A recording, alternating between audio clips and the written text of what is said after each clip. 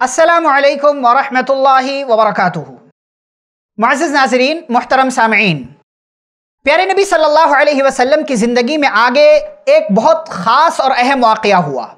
और ये ख़ास वाक़ सीरत की किताबों में हिल्फुल फजूल के नाम से जाना जाता है। कुरैश के चंद कबाइल, बनु हाशिम, बनु असद बिन अब्दुल्ज़ा बनु जहरा बिन किलाब, बनु तैम बिन मुर्रा और इसी तरीके से बनु मुतलिब ये पाँच बड़े बड़े कबाइल, ये लोग जमा हुए अब्दुल्ला बिन जुदान के मकान में, जो उस इलाके में मुमताज़ हैसियत रखता था। और आपस में इन लोगों ने यह अहदो पैमान किया कि हम हर मजलूम का साथ देंगे, चाहे वो मक्का का रहने वाला हो या मक्का के बाहर का रहने वाला हो। हम हर मजलूम का साथ देंगे, जुल्म के खिलाफ हम उठ खड़े होंगे और हम हर मजलूम का हक दिलवा करके रहेंगे।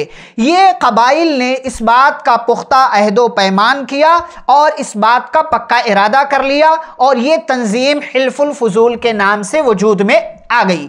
इसका सबब क्या बताया जाता है? इसका सबब यह बताया जाता है कि जुबैद का एक आदमी, जुबैद एक कबीला है, उसका एक आदमी सामान लेकर के आया आस बिन वाइल ने उससे सामान खरीद लिया, लेकिन उसकी रकम अपने पास रोक ली, रकम अदा नहीं की। उस शख्स ने मुख्तलिफ़ कबीलों को बुला करके, मुख्तलिफ़ कबीलों का नाम लेकर के मदद के लिए पुकारा, लेकिन कोई भी उसकी मदद के लिए नहीं आया। वो शख्स अबू कुबैस नामी पहाड़ पर चढ़ा और उसने मदद के लिए गुहार लगाई, मदद के लिए पुकारा।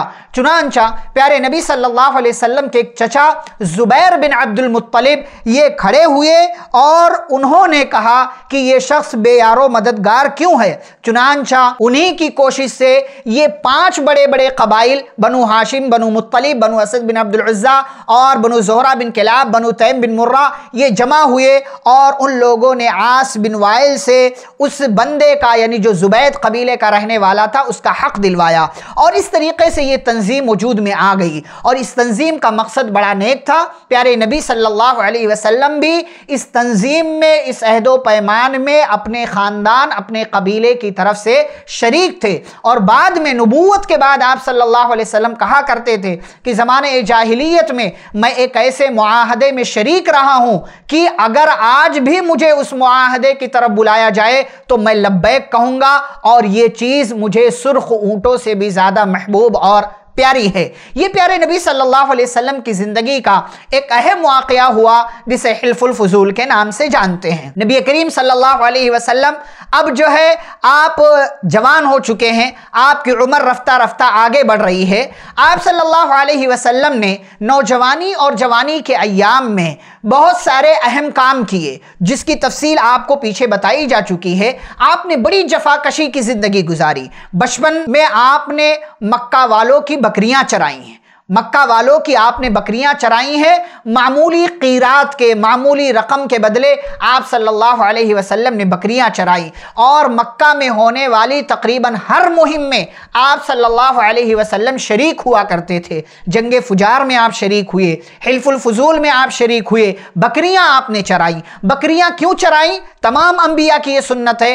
प्यारे नबी सल्लल्लाहु अलैहि वसल्लम भी बकरियाँ आपने चराई हैं। बकरियाँ चराने के पीछे अल्लाह तबारक व ताला की तरफ़ से कुछ हिकमतें पोशीदा थी। हिकमतें क्या थी कि आगे चल करके आपको नबी और रसूल बनना है, उम्मत का कायद बनना है। लिहाजा लोगों को डील कैसे किया जाए, लोगों को मैनेज कैसे किया जाए, लोगों के सामने बातें कैसी रखी जाए, कोई सताए किसी की तरफ़ से परेशानी आए, उसको डील कैसे किया जाए, और बर्दाश्त का मादा कैसे पैदा किया जाए? जिस तरीके से एक चरवाहा जब बकरियाँ चराता है, बकरियाँ कहीं यहाँ भागती हैं, कहीं किसी के खेत में जाती हैं, बकरियों का एक रेवड़ होता है उसको संभालना आसान काम नहीं है।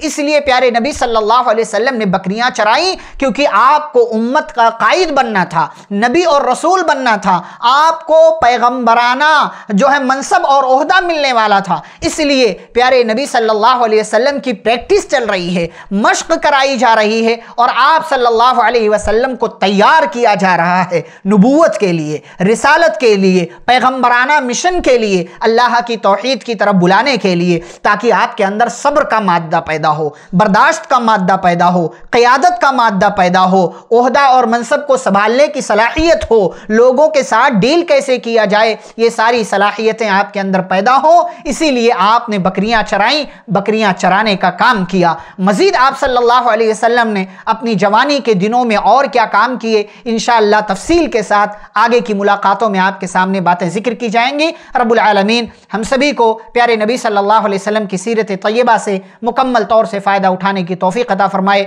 आमीन। वसलम वरहमल वर्का